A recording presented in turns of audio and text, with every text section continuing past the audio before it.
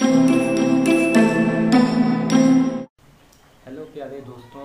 Welcome in accounting education आज variance में हम बात करेंगे या सेल्स वेरिएंस की. सेल्स वेरिएंस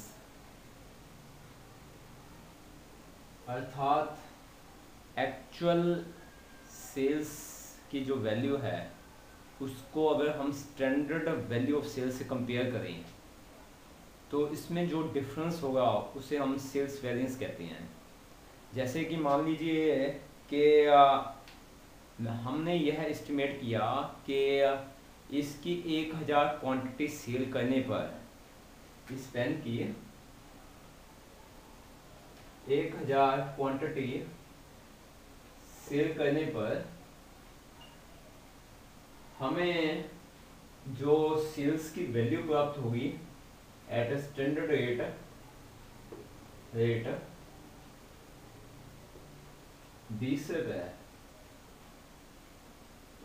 पर यूनिट तो सेल्स वैल्यू जो वैल्यू है जो स्टैंडर्ड वो होगी बीस हज़ार।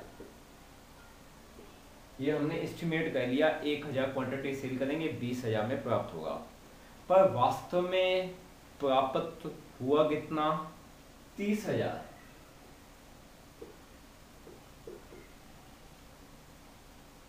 Sales value. एक्चुअल।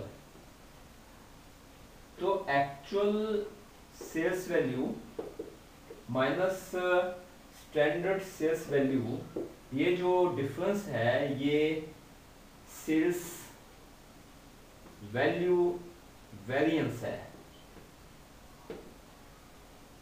अर्थात तीस हज़ार में से घटा दिए बीस हज़ार। तो दस हज़ार जो है, वो वेरिएंस है, वो फेवरेबल है। अर्थात हमारी सेल जो है एक्चुअल सेल स्टैंडर्ड सेल से ज़्यादा है। यह एक पॉजिटिव साइन है, एक पॉजिटिव वे की तरफ़ जाने के लिए। अगर ये जो एक्चुअल सेल्स जो हमने निकाली है, वो दस हज़ार होती तो हमारा वेरिएंस जो है नेगेटिव में आ जाता माइनस दस हज़ार। जो अनफेवरेबल था। अर्थात हमने स्टैंडर्ड जो सेल को इतना ज़्यादा एस्टिमेट क्यों किया? एक क्वेश्चन चिन्ह ये बन सकता है। और हमारी सेल क्यों कम हुई? दस हज़ार क्यों हुई? बीस हज़ार क्यों नहीं हुई? है यह एक दूसरा क्वेश्चन मार्क बन सकता है। और ये जो दो, ये जो सेल्स वेरिएंस है value variance sales value variance ये ये दो रीजन से पैदा होता है। पहला सेल्स प्राइस वेरिएंस वेरिएंस इसका मतलब ये है कि यदि क्वांटिटी जो एक्चुअल क्वांटिटी है, वो सेम रही है। एक्चुअल क्वांटिटी है सेम रही है। क्वांटिटी ऑफ़ सेल सेम रही है। Actual quantity of sale same रही अगर एक्चुअल प्राइस तथा स्टैंडर्ड प्राइस में डिफरेंस है तो सेल्स प्राइस वेरिएंस निकाला जाएगा। अर्थात, इस क्वेश्चन में मान लो, जो है तीस रुपए हमारी एक्चुअल प्राइस है और स्टैंडर्ड प्राइस है बीस रुपए और एक्चुअल क्वांटिटी जो सेल की गई है वो एक हज़ार ही है।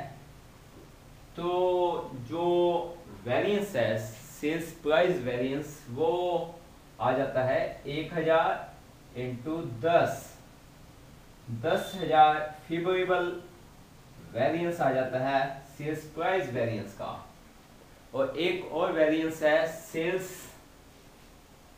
यहाँ लिख देते हैं सेल्स क्वांटिटी वेरिएंस या सेल्स वॉल्यूम वेरिएंस इसमें जो स्टैंडर्ड प्राइस है वो फिक्स रहेगा स्टैंडर्ड प्राइस अगर एक्चुअल क्वांटिटी में से स्टैंडर्ड क्वांटिटी घटा दी जाए, अर्थात स्टैंडर्ड प्राइस है मान लीजिए तीस एक्चुअल एक्चुअल क्वांटिटी जो सेल की गई है, वो 2000 है।